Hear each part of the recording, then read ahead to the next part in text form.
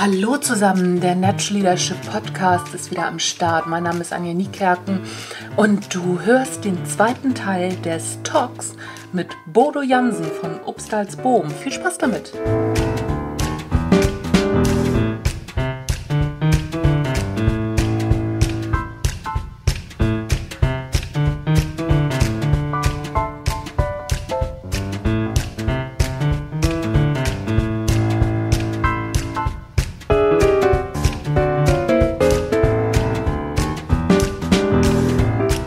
Das ist natürlich recht ungewöhnlich so insgesamt, ne? wenn man sich so ein normales Unternehmen anguckt, äh, was, was deins ja auch eine ganze Zeit lang war. Das ist ja genau umgekehrt und ich glaube, die meisten können sich überhaupt nicht vorstellen, dass wenn man sagt, okay, es geht hier nicht ums Unternehmen, sondern es geht um den Menschen erstmal im Mittelpunkt, dass dann etwas passiert, was dem Unternehmen maximal nützt. Wie, ähm, wie, wie, wie kann, kann man das den Leuten, die, sag mal, aus, aus deiner alten Welt auch kommen, was, was würdest du denen sagen, warum sie das ändern sollten, den Umgang? Ja, das ist, also es, es bleibt hängen bei der Frage, also bei der Absicht. Mit welcher Absicht betreibe ich mein Unternehmen? Ja. Äh, mit welcher Absicht führe ich Menschen? Wenn ich Menschen beeinflusse, was ja Führung ist, ja. Äh, oder äh, wenn ich Menschen beeinflusse, etwas zu tun, was mir oder dem Unternehmen gut tut, dann manipuliere ich. Mhm. Wenn ich Menschen aber beeinflusse, etwas zu tun, was sie als Mensch stärkt, wachsen lässt, äh, und Menschen stärken heißt bei uns im Unternehmen im Sinne der WHO Gesundheit, psychisches und physisches und soziales Wohlbefinden gewinne, mhm. dann führe ich sie. Und äh, ich bin äh, sehr, sehr, sehr skeptisch, das habe ich vor kurzem noch gesagt, über diese ganze New Work-Bewegung äh, und äh, viele, viele Maskeraden, die gerade so auf den Markt kommen, mit Menschen, die glauben, dem New Work-Gedanken zu entsprechen, aber nicht wirklich im Ansatz verstanden haben, worum es geht. Mhm. New Work heißt nicht irgendwie agil unterwegs zu sein und äh, sich zu überlegen, wie arbeite ich, sondern die ein, einzige und entscheidende Frage, um die es geht, ist wofür und weshalb. Mhm. Und äh, wenn ich die Absicht hege, die Menschen zu führen oder ein Unternehmen zu führen, äh, um äh, mich hier zu stärken, mein Unternehmen zu stärken, dann äh, äh, hat das nichts mit dem zu tun, worum es uns geht. Ja. Wir haben ja bei uns im Unternehmen das Menschenstärken zum Studium gemacht. Das heißt, der Sinn des Unternehmens besteht bei uns darin, dieses Unternehmen als Plattform dafür zu nutzen, dass Menschen äh, psychisch, physisch und sozial sich wohlfühlen. Mhm. Also es geht nicht darum, Erträge zu machen. Und äh, wenn ich, egal was ich tue, es nur tue, um den Unternehmenserfolg voranzubringen, dann kann ich es in dem Sinne, wie wir es tun, sein lassen. Mhm. Und das verstehen viele nicht. Also ja. wir haben ja wirklich, die Frage ist immer, dient das Unternehmen dem Menschen oder dient der Mensch dem Unternehmen? Ja. Und in 90 Prozent der freien Wirtschaft ist es so, dass dort noch die Haltung besteht, dass der Mensch dem Unternehmen dient. Mhm. Und äh, dass der Mensch dem System dient. Dass mhm. äh, äh der Mensch den Checklisten dient und nicht umgekehrt. Und äh, solange das in diesem Unternehmen dieser Geist besteht, können sie vielleicht ein bisschen was über Agility tun oder äh, andere Arbeitsweisen tun, aber sie werden im Kern nie das erreichen, was sich bei uns an Entwicklung äh, äh abgezeichnet hat oder abzeichnet. Mhm. Mhm. Ja, verstehe ich. Welche Anforderungen stellt diese Art des, des Unternehmertums an deine Führungskräfte im Vergleich ja, zu der herkömmlichen Art und Weise? Das habe ich akustisch gar nicht verstanden. Oh, okay. Ähm, welche, welche Anforderungen stellt diese, diese Art der Unternehmensführung an deine Führungskräfte im Vergleich zu, zur herkömmlichen ja, Art, Unternehmen zu führen? Genau das Gegenteil von dem, was bisherige Führungskräfte an den Tag legen mussten. Ja, schau, bisherige Führungskräfte sind ja im System der Pyramide groß geworden. Ja. Und im System der Pyramide, seitdem der Mensch das Tier sich zum Untertan gemacht hat, äh, gilt ja der Wettbewerb, ne? mhm. der Vergleich, die Normierung, um überhaupt Vergleich möglich zu machen.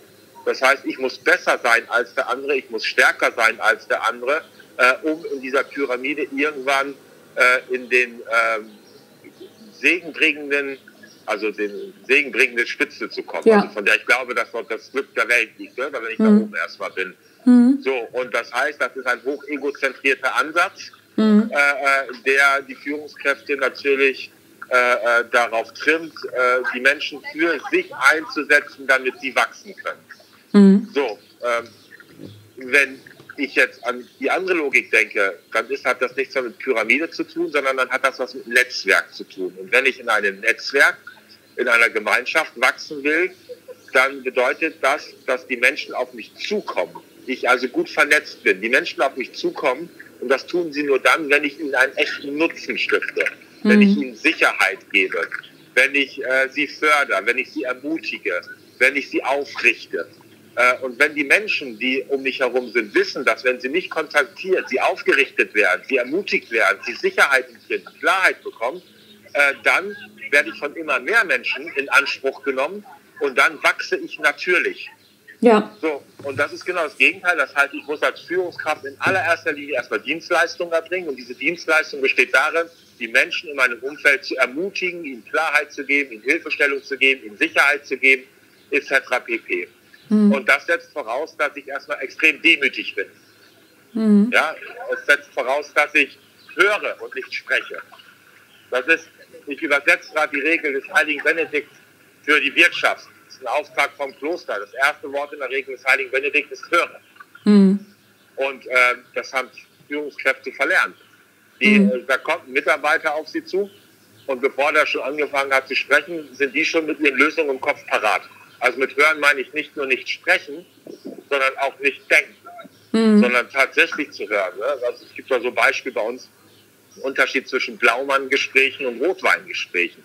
Die Blaumann-Gespräche ist, Mitarbeiter kommt und gemeinsam versuchen wir nach Lösungen zu suchen. Mhm. Also ich krempel die Ärmel hoch und helfe ihm dabei, jetzt Lösungen zu finden. Mhm. Und das Rotweingespräch ist, Mitarbeiter kommt und möchte einfach nur gehört werden. Ich halte meine Klappe. Mhm. Und äh, das stärkt die Menschen zum Teil viel, viel, viel mehr. Ich meine, die Menschen beten ja nicht umsonst, ja. Da ist da keiner, der da oben antwortet, sondern der einfach gefühlt jemand zu. Ja. Und äh, das, das stärkt die Menschen ganz einfach. Das gibt ihnen einfach, ja, das Gefühl, äh, da hört mich jemand. Mhm. Das ist wichtig. Dann äh, dieses ja, Ermutigen. Äh, Menschen fordern vor allen Dingen auch, sie immer wieder in Situationen bringen, wo sie über sich hinauswachsen müssen, ohne die Angst davor zu haben, dass wirklich auch was Schräges passiert. Ja, also nicht mal die Arktis bei uns jetzt oder Kilimanjaro ja. oder ja. woanders. Das sind ganz andere Verhaltensweisen. Also es geht tatsächlich darum, den Menschen zu stärken. Dass der Mensch am Abend aufrechter nach Hause geht, als er morgens gekommen ist. Und wenn ich das tue als Führungskraft als Unternehmen, dann kann ich mich vor Anfragen gar nicht mehr retten. Ja. Und das andere ist nur Mittel zum Zweck. Also die Hotelbetten und, und, und die Hotels und das, das ist nur Mittel zum Zweck, äh, ein ganz wunderbares Mittel, um Menschen äh, auf dem Weg stärker zu werden, zu unterstützen. Hm. Ja, ich glaube, das ist, äh, das ist genau der Ansatz, ne? so dass, äh, dass das Hotelunternehmen sozusagen äh, das finanziert, was ihr eigentlich wollt. Ja, das hat wenig mit, das geht nicht um die Finanzierung, das, ja. Äh, das wäre mir zu trivial. Es geht um die Rahmenbedingungen, ah, okay. die ein Hotel liefert. Ja. ja, wir brauchen, um als Mensch zu wachsen, brauche ich Begegnung mit Menschen. Ah, okay. Und die, äh, die, äh, die Anzahl der Begegnungen in einem Hotel mit Menschen, die so diversifiziert, äh, also woanders nie so diversifiziert anzutreffen sind, jede Begegnung bietet die Chance, als Mensch zu wachsen. Ah, spannend. Ja. Ja, ja, das, das passt und, natürlich gut zu eurem Unternehmen dann auch, klar. Ja, und äh, darin liegt zum Beispiel der Sinn des Augenblicks. Ja, es geht ja immer um Sinn. Leading by Meaning ist ja unser Thema. Ja. Und der Sinn des Augenblicks liegt für den Mitarbeiter ja in der Chance, in jeder Begegnung mit einem Gast wachsen zu können. Jeder Gast challenged mich und jeder Gast bringt mich weiter als Mensch er stellt mich vor Herausforderungen, er nutzt vielleicht oder freut sich vielleicht. Jede Situation, der Sinn des Augenblicks liegt darin, in jeder Begegnung mit einem Kunden, mit einem Gast, mit einem Kollegen einer herausfordernden Situation zu wachsen, mhm. sie zu entwickeln. Mhm. Das ist was anderes, als wenn ich davor äh, den Menschen objektiviere als Gast, der mir 12,50 Euro bringt. Das stimmt.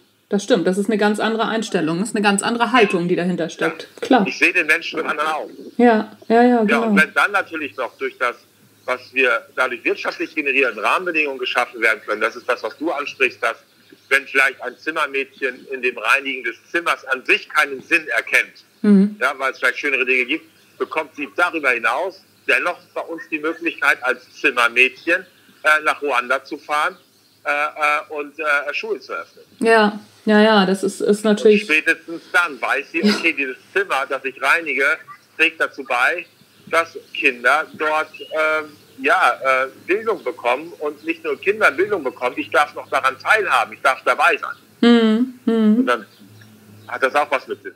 Ja, klar.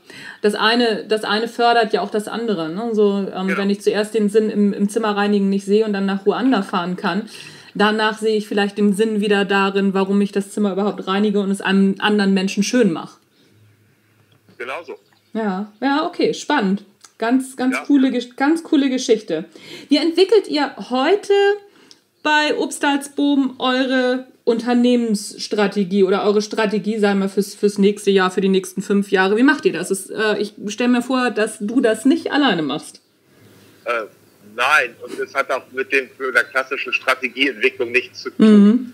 Äh, wir waren gestern, das nennt sich bei uns Entwicklungswerkstatt, wir haben mit den äh, sämtlichen Mitarbeitern eines Hotels gemeinsam ähm, ein Bild gemalt. Mhm. Das ist unsere Strategie. Also wir arbeiten nicht mehr mit Konzepten und Zahlen zu Strategien. Mhm. Äh, das äh, halten wir für unsinnig, weil 95 äh, Prozent der Verhaltensweisen, die wir an den Tag legen, entstehen aus dem Unterbewusstsein heraus. Und das Unterbewusstsein kann mit solchen Konzepten leider wenig anfangen. Das versteht mhm. nämlich nicht, das arbeitet mit Bildern. Ja. Äh, und deshalb haben wir Alternativen gefunden.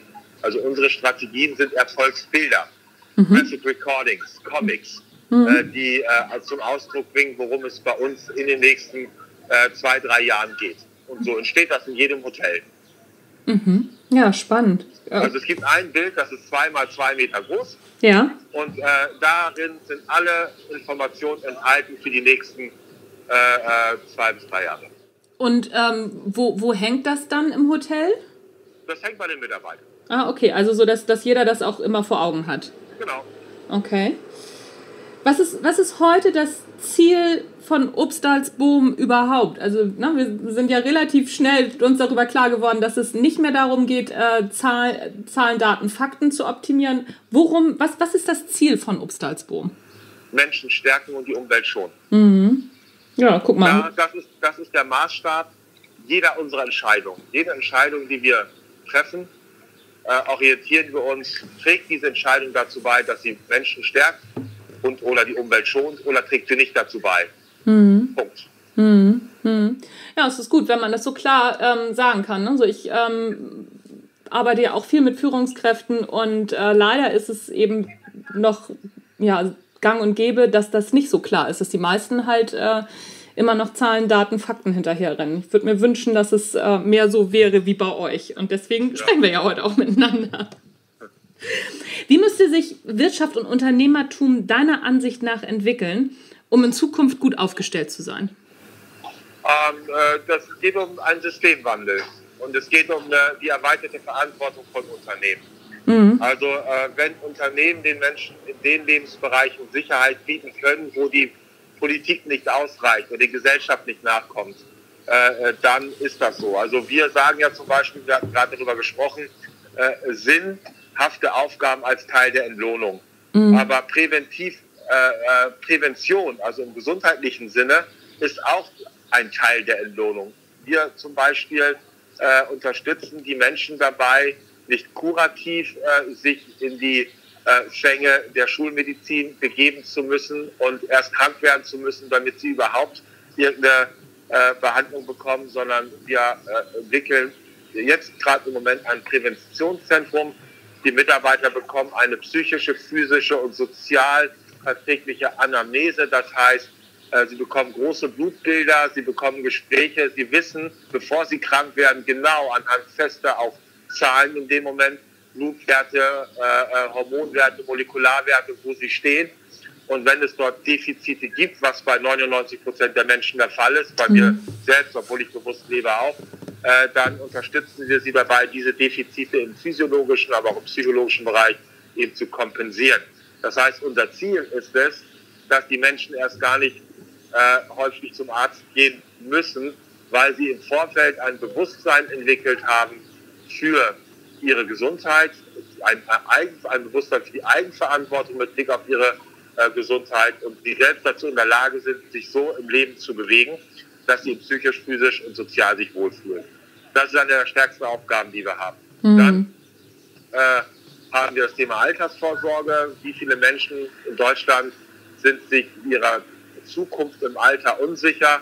Und auch da haben wir angefangen, die unternehmerische Verantwortung weiter auszubauen. Wir haben dort äh, Häuser erworben, die umgebaut werden und werden dies weiter tun, um Menschen, die bei uns mit und für uns gearbeitet haben, im Alter unabhängig ihrer Rente die Sicherheit eines betreuten Wohnens zu geben.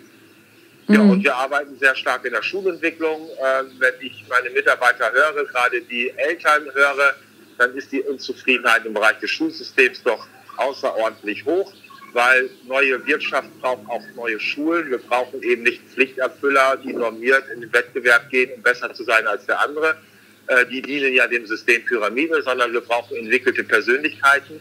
Und auch dort arbeiten wir zum Beispiel mit der Marke Grasfeld, Schule im Aufbruch, äh, mhm. ja, sind wir im Austausch, um Schulen zu konzipieren, Schulen zu entwickeln, die Entwicklung von Schulen zu fördern, äh, die die Persönlichkeit des Menschen in den Vordergrund stellt. Mhm. Und das heißt, wir gehen einfach äh, in Bereiche, die weit über das Unternehmen hinausgehen, gehen wir rein und äh, geben den Menschen damit die Sicherheit, wo sie vielleicht Unsicherheit erleben oder empfinden. Mhm. Und das ist für mich die Wirtschaft der Zukunft. Ja. Also den Mensch und die Umwelt ganz klar in den Fokus zu stellen und äh, diesen Irrglauben, dass Wohlstand gleich Wohlbefinden bedeutet, vielleicht da nochmal ein Stück weit einen Abbruch zu. Ja, ja, ja, cool.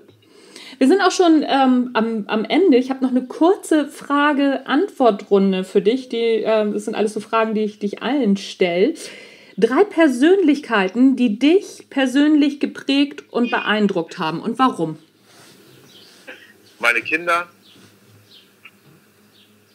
hm? meine Frau und meine Mitarbeiter. Okay, und warum?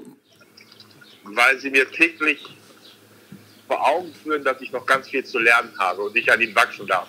Ja, ja, sehr gut. Also äh, mit Kindern ist das, ist das glaube ich, auch, ähm, ja, bleibt einem gar nichts anderes übrig, sehe ich genauso. Drei Bücher, Fachbuch, Führung, Sachbuch, Fiktion oder Filme, die jeder einmal gelesen bzw. gesehen haben sollte. Kai Pollack durch Begegnung wachsen. Mhm. Alexander Patakos, Gefangene unserer Gedanken. Mhm.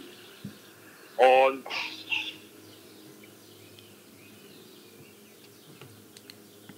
Meister des rechten Maßes von Anselm Grün. Ah, okay, Meister des rechten Maßes. Das kenne ich auch noch nicht.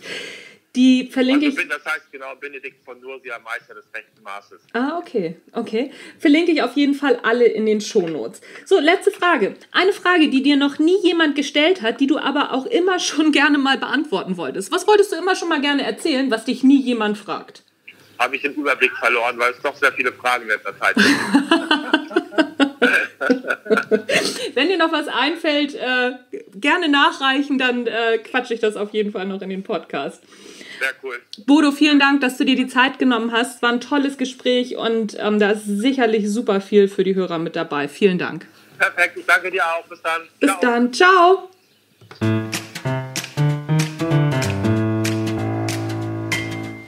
Ja, das war's vom Natural Leadership Talk. Du hast den Talk mit Bodo Jansen gehört. Upstals Boma mit Leib und Seele.